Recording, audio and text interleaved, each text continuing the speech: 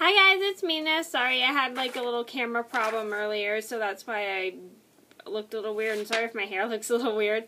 Um, anyway, um, today in this video, I'm going to do my top five most adorable shows. Now, this was originally going to be a top ten most adorable shows, but I could only find five shows that I found that were cute.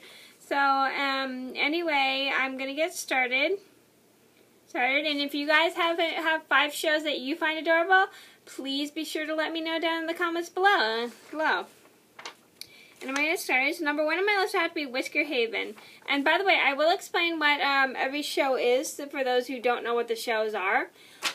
So Whisker Haven is this cute little show that involves the Disney Princess Palace pets. Um, it doesn't show all of them yet, but they're going to show more later on in the series.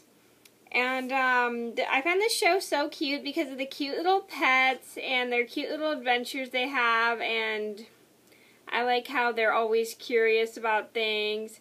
And I love how like um, they always have these little like things happen in their adventures.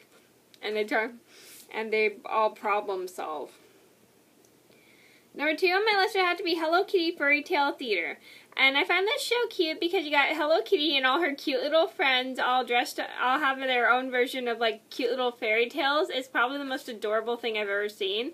And they're all wearing their cute little outfits for the plays and stuff. And the plays are like their own version of like certain fairy tales, like Kitty and the Beast, which is a parody, which is a Hello Kitty parody of Beauty and the Beast, or Cinder Kitty, like Cinderella or um,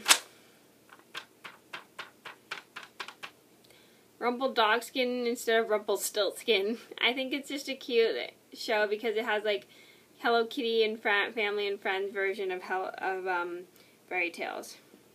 So number three on my list has to be Hamtaro. Now this is one show that I kind of love, but at the same time I kind of don't really like it. I love the show because of the, all the cute little hamsters and their cute little outfits that they wear and well actually mainly their accessories and their cute little curiosity and their cute little adventures. But the only thing I hate about the show is the obnoxious little theme song. It make songs they make me want to rip my hair out now today. I mean I found them pretty catchy as a kid but as an adult listening to them I think they're really annoying. They are horrible. Their voices that sing them are so obnoxious but I have to admit, like, the pop music part is a little bit catchy, but overall the song is just really annoying. But I just really still think this show is pretty adorable because of the hamsters and their cute little adventures they have. Number four on my list had to be Baby Looney Tunes.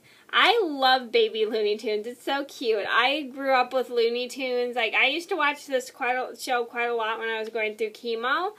Um, it was really cute because you got Bug baby versions of all the Looney, your favorite Looney Tunes characters. Like mine is either Tweety Bird or Lola Bunny. I just love Tweety Bird because my parents used to say I look like Tweety Bird. Anyway, I love this because it's so cute. It kind of reminds me a little bit of my childhood, except I didn't watch um because I grew up watching Looney Tunes. I love Looney Tunes. It's my favorite cartoon of all time growing up watching. And um it's pre and it's just so cute because of all the characters and the lessons that they learn. I think it's probably the most adorable show ever, next to Whisker Haven. Number five on my list would have to be the Flintstone Kids. I find the Flintstone Kids cute because you got younger versions of Fred of the whole Flintstone gang, like Fred, Velma. I mean, not Fred, not Velma. If She's in Scooby Doo. Why did I say Velma? Uh, Fred, Wilma. that was so fun, pretty funny. I accidentally said Velma when she's from Scooby Doo, and um, I should have when I should have said Wilma when she's from uh, what uh, um, Flintstones. Um, Barney, Betty, and Dean and Dino. I think that's what the dog's name. I don't know.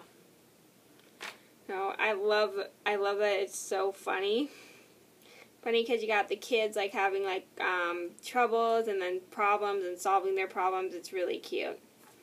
Okay, so those are my top five most adorable shows. I hope you guys enjoyed. Thank you so much for watching, and I'll see you in another video soon. Bye!